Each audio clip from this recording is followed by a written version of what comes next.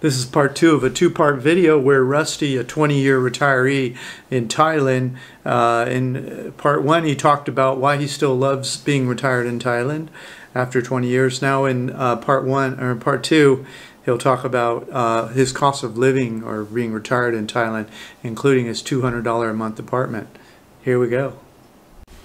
Oh, if you missed part one, just click the link in the notes below this YouTube video to see part one. So Rusty, everyone's always curious. They hear about how cheap it is to live in Thailand. What, how much uh, is your rent, and is it is it a typical rent, or is it high or low? Uh, okay, I own one condominium. It is a 44 square meter condominium, and it's where I live.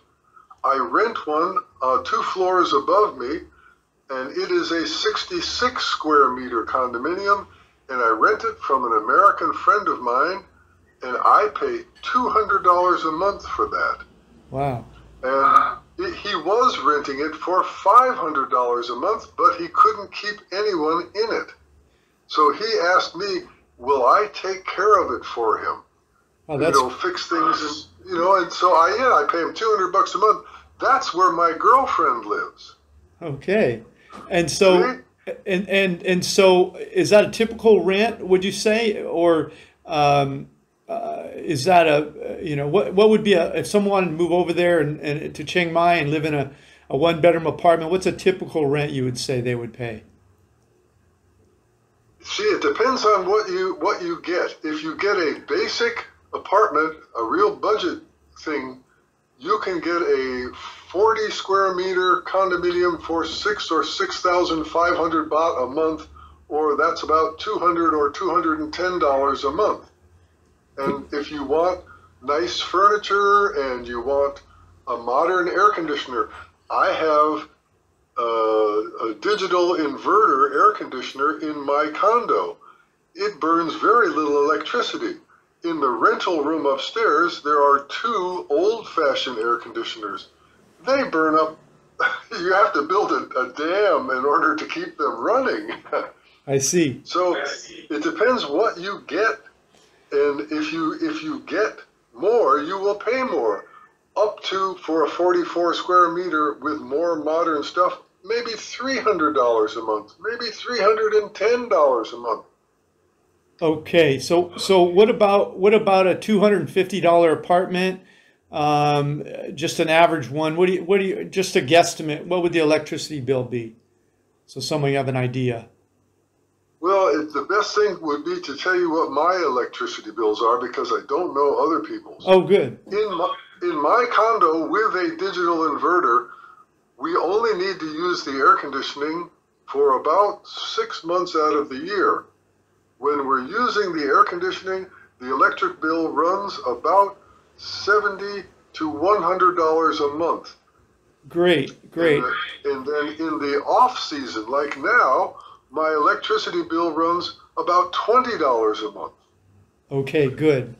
Uh, and in the room upstairs, uh-huh. in the 66 square meter with the old air conditioners, if we were to run that all the time, you could easily spend $300 a month on, on electric.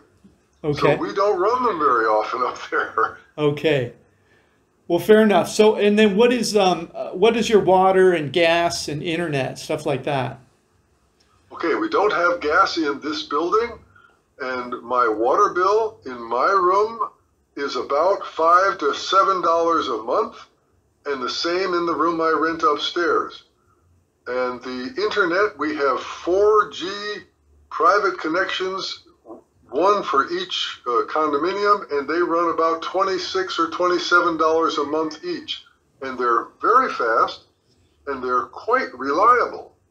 Great. And Rusty, um, do you what is what do you think you spend on groceries? And do you cook at home mostly, or do you go out?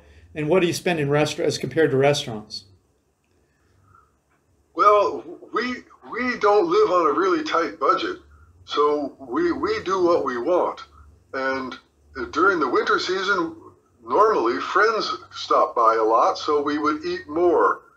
So I would say on average, we spend something like, uh,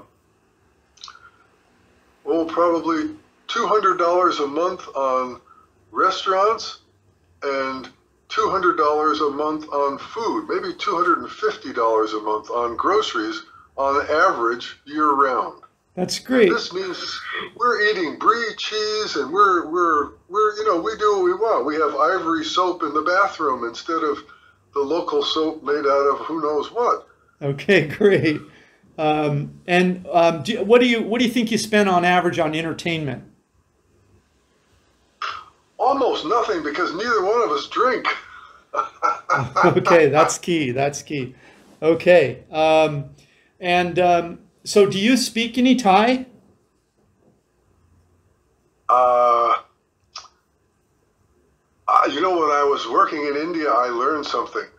Learn to understand it, but never speak it, and then you'll know exactly what people think about you. Interesting. And I, I, I apply that almost everywhere I go. And here in Thailand, Thai is very difficult for me to learn. It's very difficult. And I have found something that is very interesting. If you only really speak English, you're speaking to the most interesting people in the whole country because they all speak English. All, all the most interesting people speak English. You go into a, a tiny shop or a tiny food stall somewhere. Yes, I can count to 10 and I can ask for food and stuff, and I can do that easy. But other than that, I speak English. And people love to practice their English. So it, to me, I do not speak Thai and I don't want to learn. And I know that may sound terrible. Some people might think, well, he's just a horrible person. And maybe I am. But by gosh, the Thai people love it. They love to speak English. That's great. Um, I appreciate that, um, Rusty. Um, and because Thai is difficult to learn, and a lot of people are, are wondering, hey, uh, can I move there and, and have a life, or do I need to learn Thai first? And you've lived there for 30 years, so that answers the question. So thank you for that. Um, so uh, your um, um, what are your tips for someone thinking of living uh, this lifestyle, or what, what would you do differently if maybe if you started over again today? Any thoughts on either of those questions? Yes. I would not buy, I would rent a home. I, I was injured up on the Khumbu Glacier and uh, injured my leg, and that's caused me a lot of trouble since my first trip to Mount Everest in 1973. And I again was injured uh, in uh, oh the late late 1990s again up in the up in the Himalayas, and so I decided to buy this condo in case my whole world fell apart. I would always have a place to live.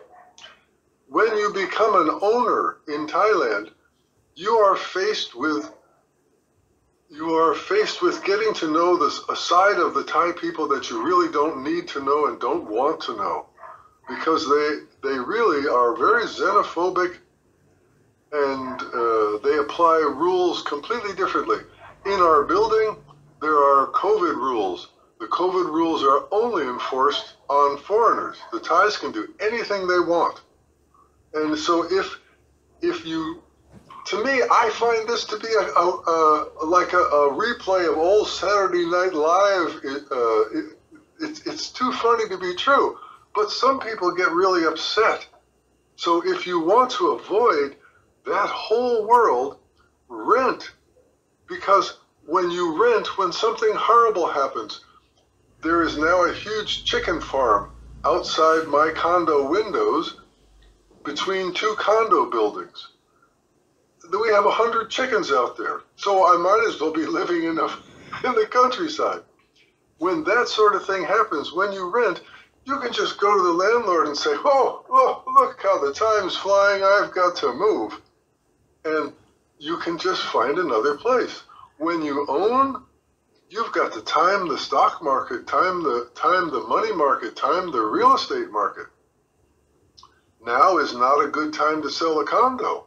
Exactly, and you and I I've done a whole video on that, and you just echoed the whole almost everything I say in that video. So that's my same advice. So thanks for that too, Rusty. You're just, you're just a, You're just a whole Well, uh, a bucket I full of great ideas. Video, Dan, I, I- and for, for your listeners to know, I've never met Dan. I, I, I found Dan because of that particular video. I said to myself, now here's a guy who really does travel and really does know what he's talking about, and he's giving his subscribers solid advice.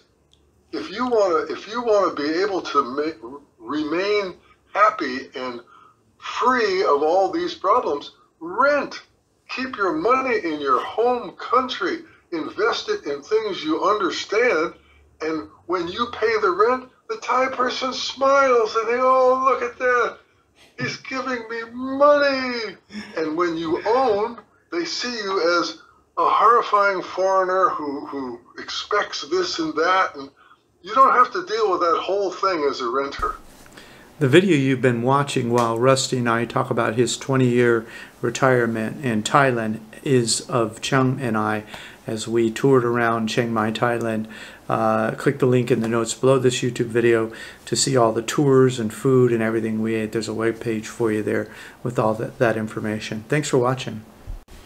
Oh, if you missed part one, just click the link in the notes below this YouTube video to see part one. Click the link in the notes below this YouTube video to get a copy of all the resources described in this video and a free copy of my ebook, How I Fired My Boss and Traveled the World. And while you're there, check out our 80 Retire Cheap reports and the course that teaches you how to make money as you travel the world.